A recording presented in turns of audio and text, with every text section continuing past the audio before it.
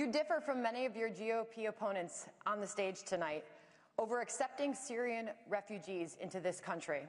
You have said, we don't have an obligation to just open our doors. As the Islamic State continues to expand, slaughtering and crucifying Christians, including women and children, refugees continue to flee their land by the thousands. Should America open its doors to accept any refugees in this country? If so, how many?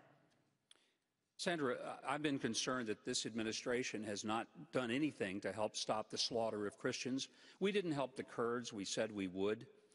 But the idea that we're just going to open our doors and we have no idea who these people are, what we do know is that only one out of five of the so called Syrian refugees who went into Europe were actually Syrian. Many of them, we had no idea who they were. They weren't Syrian. Are we going to open the doors so that ISIS people will come on in and we'll give them a place to stay and a good sandwich and medical benefits? My gosh, we are $19 trillion in debt. We can't even afford to take care of Americans. So if we're going to do something for the Syrians, let's find out who they really are and the ones that are really in danger. Let's help build an encampment for them, but closer to where they live rather than bringing them here when they don't know the language, the culture, and frankly, if we've got as many homeless people as we have, I'm not sure this makes any sense. So let's do it where we can best help them, send them some food. But let's ask the Saudis to step up.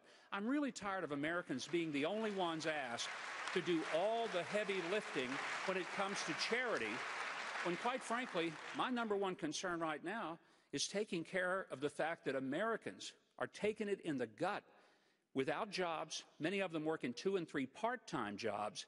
And if America wants to do something great, let's get our economy growing again, stabilize the dollar, and we'll be in a much better position to help people around the world. All right, Governor Huckabee, thank you.